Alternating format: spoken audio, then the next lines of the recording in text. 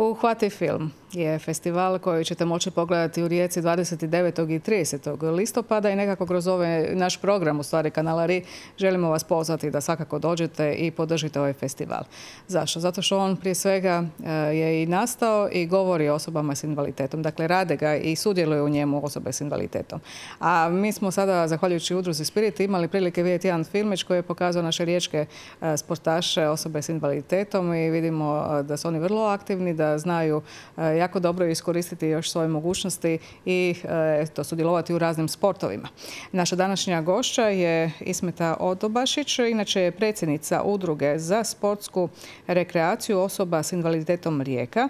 Moram odmah na početku reći da u biti ste sad pod novim nazivom, a možda vas više znaju kao društvo za sportsku rekreaciju osoba s tjelesnim invaliditetom Rijeka. Dakle, riječ je o istoj udruzi, odnosno društvu koje sada prelazi u udrugu. Srećan pozdrav, dobro nam došli. Hvala. E, pozdrav vama, pozdrav svima e, gledateljima, mojim članovima i svima e, osobama koji su u realizaciji u festivalu Uhvati film, a koji znači nas su uključili u to. Na koji način evo, ste vi uključeni u sam festival, odnosno evo, ako ništa drugo, barem ste ovdje prikazani sa svojim aktivnostima? Pa već dugo vremena e, pokušavamo stupiti u kontakt i sa udrugom Spirit i oni e, pozivaju nas, mi sudjelujemo, u stvari idemo samo gledati taj uhvati film, ali još do sada nismo e, aktivno sudjelovali, ali smo se dogovorili da u buduće hoćemo surađivati i sa njima. kako ste vi doživjeli ove filmove koji se prikazuju na ovom festivalu? Pa ja kao osoba s invaliditetom to sam možda drugčije doživjela. Gledala sam ljude pored sebe koji su plakali, koji nisu mogli vjerovati da osobe s invaliditetom mogu raditi takve e, stvari, mogu e, se tako na taj način baviti sportom. E, ali e, sve je to danas normalno i sve je to e, naš mhm. sastav našega života. Sam festival ima raznovrsne teme filmova, sport je samo jedan segment. Nama je sad evo već kada ste ovdje kod nas u studiju, važno da doznamo nešto i o vašoj dakle, udruzi, o djelovanju, koje sve sportaše okupljate, kada se i gdje okupljate, gdje nastupate? Pa ovako, nažalost, prije smo puno više e, sudjelovali i e, na državnom nivou i dobro, na međunarodnom nivou mi nismo kao rekreativci, mhm. ali e, hvale vrijedno je istaknuti to što smo mi, naši članovi, to su druga i treća životna dob, manje više, i naše medalje, svaki put kad donesemo naše medalje, one nisu, ništa manje, manjega sjaja od onih medalja koje su neki vrhunski sportaši. bez obzira što su oni popraćeni, što su oni možda na neki drugi način tretirani. U ovom periodu koliko sam ja, koliko vodim tu udrugu i koliko sam uključena u sve to, nažalost ne mogu se pohvaliti da smo imali neku potporu ni sa koje strane. A eh, što se tiče rezultata, evo, to uvijek moram istaknuti, pred dvije godine naši bočari e, su na državnom prvenstvu, znači športsko-rekreativne igre državne razine e, u Poreču ili u Vodicama, koje organizira u organizaciji HPO-a. Trojke, bočari, imali su 226 godina, njih tri ukupno, a osvojili su zlato na nivou države, a 150 i neku godinu su imali parovi, isto osvojili su, oni su osvojili srebro. Imamo kuglače koji su manje više zlatni ili, e, ili srebrni, ali najviše zlatni.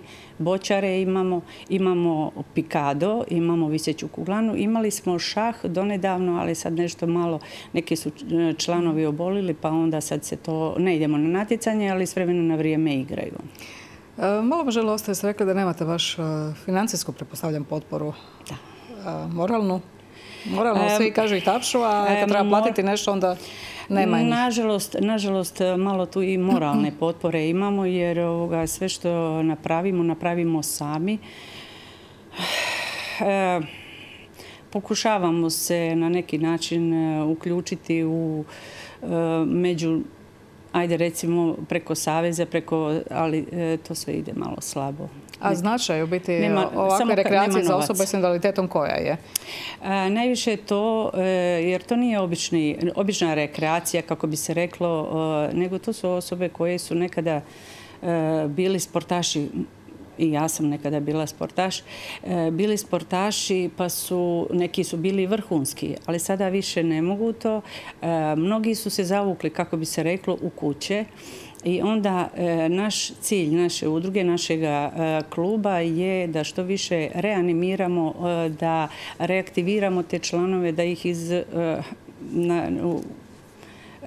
rečeno izlučimo iz kuće tako, da se, da se ovoga ponovno pokrenu i da, ali kad dođu kad počnu dolaziti, onda rado dolaze i, i smijehom i kroz šalu, kroz razgovor, kroz to. Puno, puno više znači ono, ono naše druženje ono među nama nego što je recimo što se i što se igra. Mhm.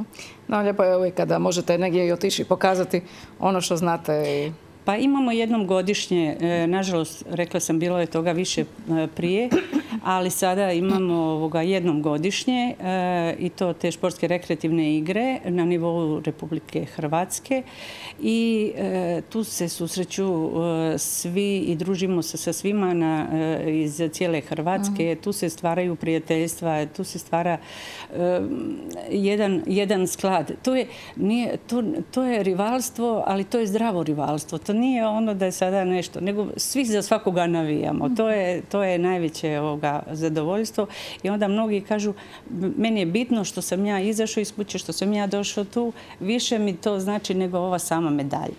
Mada krcati medaljama dođemo, može se doći kod nas. Uvijek je lijepo jer je to jedna potvrda evo, da smo nešto dobro radili. Uvijek je lijepo dobiti tako svakome. Da. E, već je reći prije pustila, ali može i sada u nastavku e, pustiti jedan dio u biti koji smo dobili upravo uz udruge Spirit vezano za uhvati film. Filmovi o sportašima s invaliditetom koji se pojavljuju u filmovima. Gledajući te snimke možemo reći da osobe s invaliditetom negdje vani imaju možda i bolju potporu društvene zajednice što se tiče njihovih aktivnosti. Pa prilika u biti može upravo zato da se i pogledaju filmovi gdje možemo možda i nešto i naučiti ili potaknuti nekoga da se evo i, s tom tematikom više bavi. E, istina je. Istina je, zato su e, mnogi naši članovi e, neki su čak i revoltirani, ali uvijek se mora, uvijek neko je vatra, neko voda, pa se to malo stiša, jer kad se vidi koja je potpora vani, u mnogi, nisu svi. Ima i drugih zemalja koji nemaju isto svi, e, ali su ipak e, vrhunski sportaši. Sportaši rekreativci. Ne možemo sada reći da su e, ovoga, sportaši aktivni i to, ali rekreativci. Ali bez obzira na to imaju svu potporu, svu, svu pomoć i tako.